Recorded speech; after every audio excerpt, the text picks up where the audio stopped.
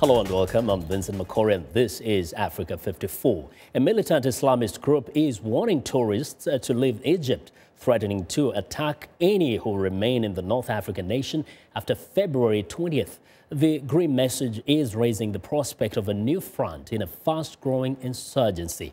Now, the Sinai-based Ansar Bayt al-Maqdis group, which claimed responsibility for a suicide bombing that killed two South Korean tourists and an Egyptian on Sunday, made the statement on an affiliated Twitter account.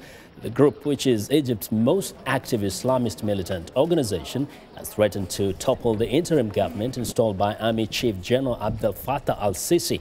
While security forces uh, seem to have contained the Muslim Brotherhood, analysts say Ansar Bayt al-Maqdis is becoming more brazen. Now, Ansar Bayt al-Maqdis has raised security concerns in Egypt since the fall of President Mohamed Morsi last year.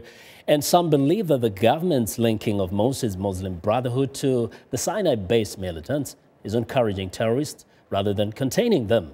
VOA's Elizabeth Arrott has more from Cairo. Egypt's government has declared a war on terror, and by any definition, terrorists are here. Ansar Bayt al Maqdis, or Supporters of Jerusalem, is one of several jihadi groups based in Egypt's largely lawless Sinai Peninsula. Claiming inspiration from Al Qaeda, they've launched missiles into Israel, but their most frequent targets are domestic. From a failed attack on the shipping lanes of the Suez Canal to a military helicopter downed in Sinai.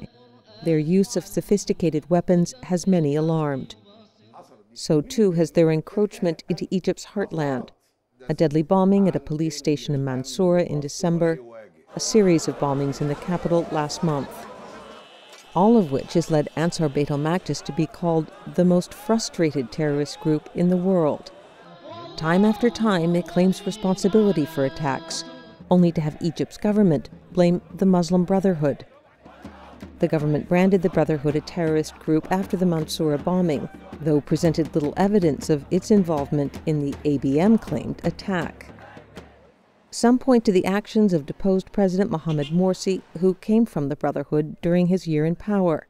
Security analyst Sameh Saif al-Yazl says Morsi's amnesty of jailed terrorists and allowing others to enter the country during his presidency as well as the rise of ABM attacks after, are damning. He allowed them to come and to stay in Sinai.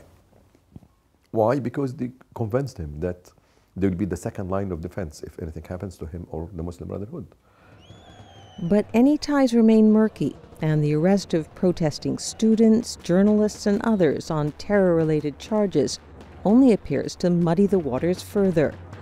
Political activist Wael Khalil says the government's current path leaves terrorists at large while possibly creating more. If your only answer is uh, shooting at, at demonstrations and arresting people indiscriminately, then actually you are recruiting for terrorism, whether you like it or not. And with more foreign fighters reportedly coming to Sinai daily, Egypt's government, like Syria before it, may find it needs as many people on its side as possible. Elizabeth Arrott, VOA News, Cairo. Well, not too far from